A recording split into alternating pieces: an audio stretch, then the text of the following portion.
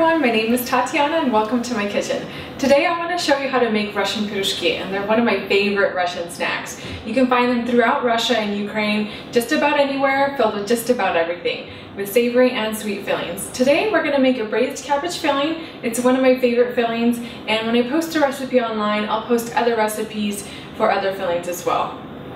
I want to start out with making a really nice and soft yeast dough and that's the big secret to making perfect piroshki. You want a really nice soft dough that's not too sticky and it doesn't have too much flour in it. So to start off with we're going to need a cup and a half of milk. And we're going to heat this up in the microwave until it's lukewarm and then we'll add the rest of the ingredients to it. So we have our warm milk, we're going to pour it into a large bowl and then we're going to add one tablespoon of dry active yeast.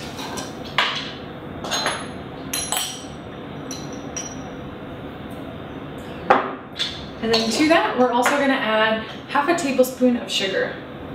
Just gonna sprinkle it on top, and then we're gonna let it sit here for about two to three minutes so the yeast can dissolve. Okay, so now that we've let this yeast dissolve, we're gonna give it a quick whisk, and then we'll add some salt to it. And it's gonna be half a teaspoon of salt,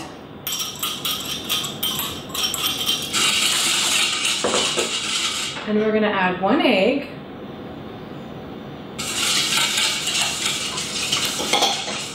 And then we're gonna add two tablespoons of olive oil.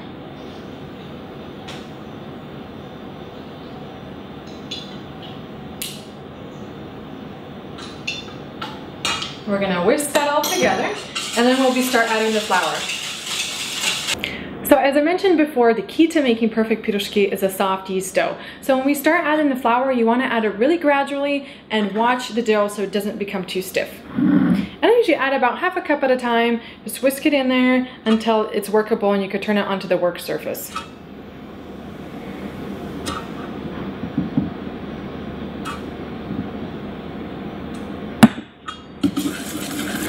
I usually start off by whisking it and then when it becomes a little more pliable than I could work it with my hands.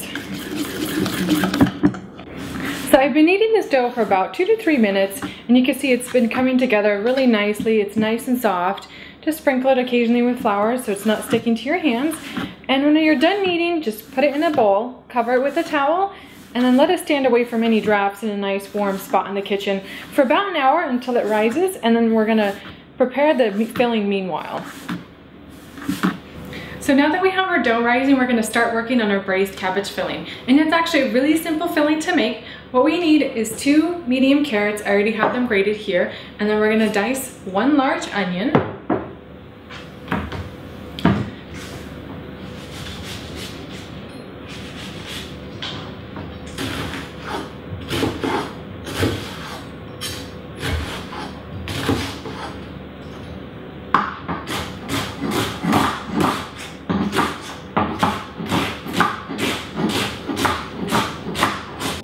We're gonna add one large bell pepper. We're gonna dice it about the same size as the onion.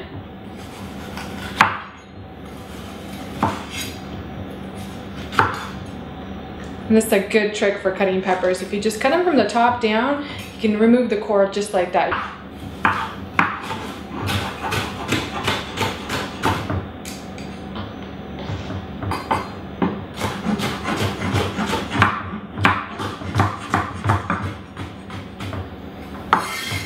Gonna add about six to seven small white mushrooms. We're gonna dice them finely just as we did the peppers and the onions.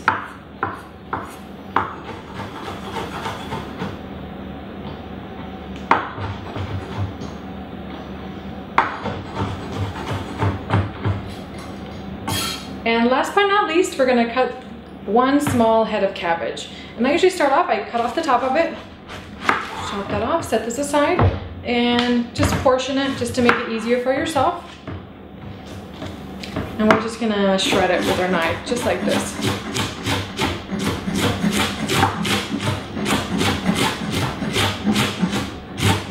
See, and what you want is these small pieces. You don't want it to be too big because then when you braise it, it's gonna be unevenly braised.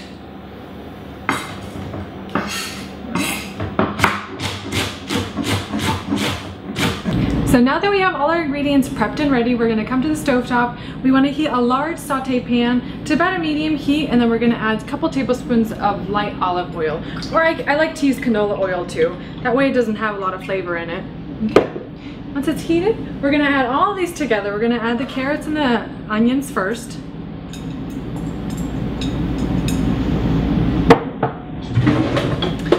And we're gonna saute it for about five to six minutes. You want it nicely browned and reduced. Okay, and you can see this, this is browning really nicely and it's reducing. And it's time to add the rest of the ingredients.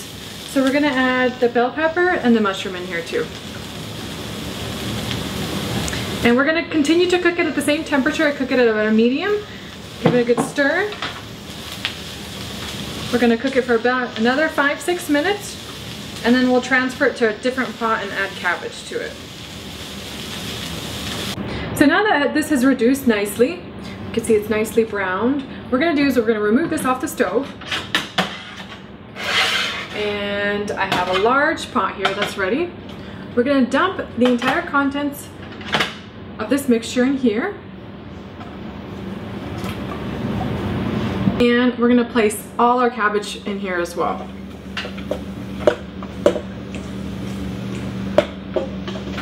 And then here is the seasoning for this. And I have a teaspoon of, of the following. I have ground black pepper, I have sea salt, I have seasoned salt, and then I also have garlic powder and paprika. And I'm just gonna sprinkle all this in here. So we're gonna give this a nice stir, combine all the ingredients together, we're gonna cover it with a lid and you wanna braise it for about 18 to 20 minutes until that cabbage gets really nice and tender. And also don't forget to taste it. You wanna make sure that the seasoning is right. All right, now comes the fun part, actually making the piroshki. And you can see here, I've put the filling back into a flat pan. It cools a lot faster this way and you don't have to wait. Remember, always try your food. Mmm. This is so good and it's gonna taste even better once inside the piroshki. So I have this dough here. It's rised about double in size. I'm gonna go ahead and punch it down. And we're gonna lightly flour this work surface. All there. And we're gonna knead it lightly just to get all the air bubbles out of it. Okay, so next we're gonna portion this dough equally. I like to take a big knife, just cut it in half, and then work from there flour in each section. I like to knead it back into shape. again. And it depends on what size piroshki you want to make. It can be anywhere between 16 and 24 different pieces. Again and again. Okay, so next we're gonna go ahead and roll out the dough for the first piroshok. Keep your rolling pin well floured. Gonna roll it out to about six inches in diameter. All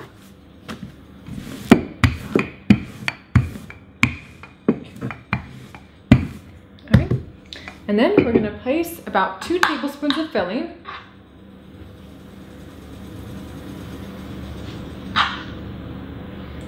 I actually like to fill them more. I usually put about three tablespoons in there, if not four. There you go. Okay, what we're gonna do is we're gonna pull up the sides first. We're gonna pull them up to the top, pinch them there, and then we're gonna work our way down the side one way, and then the other way. All I'm doing is pinching the dough together nice and firmly and you want to do it quickly so you don't get any of that filling on the seams okay then what you do is you pull up these sides just a little bit just pull them up as you work pull everything towards the top. Okay, just like that. And you see they're nicely shaped, okay? We're gonna set them aside and I make about three of them before I start frying them. Now, when you fry them, you don't want them to raise on the counter at all. You wanna put them directly into the hot oil. So here on the stove top, I have a small sauce pot and I have about four to six cups of canola oil and I heated this up to a low medium heat when I started putting together the piroshki. So I have three piroshki all ready to go. What we're gonna do is we're gonna put them seam side down first into the hot oil. Careful not to burn yourself.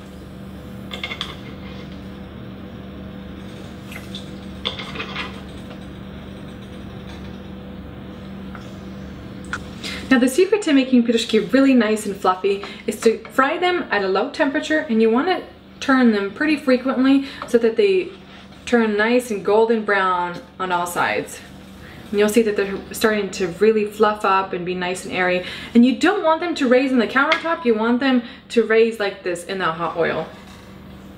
All right, and these are all ready to be taken out. You can see they're nice golden brown color evenly around. And I usually place them into a bowl lined with paper towels just to soak up some of that extra grease off of them. Okay, and let them cool at least 20 minutes, 15 minutes, because they are really hot inside. Now, if you prefer not to deep fry your piroshki, you can also pan fry them.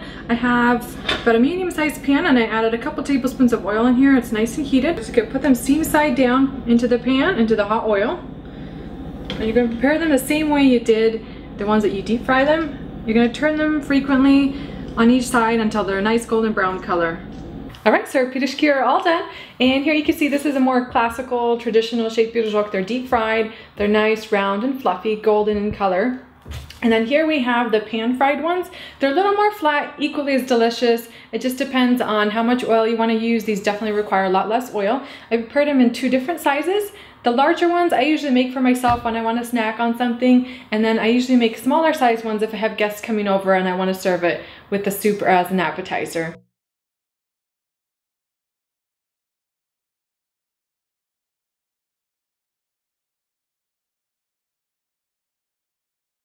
You can find this recipe and others on my Facebook food page. It's called Tatyana's Everyday Food. Thank you so much for joining me here today and I hope to see you next time.